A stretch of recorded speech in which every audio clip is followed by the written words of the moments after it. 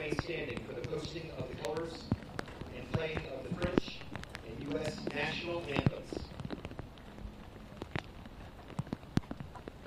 Color Guard, post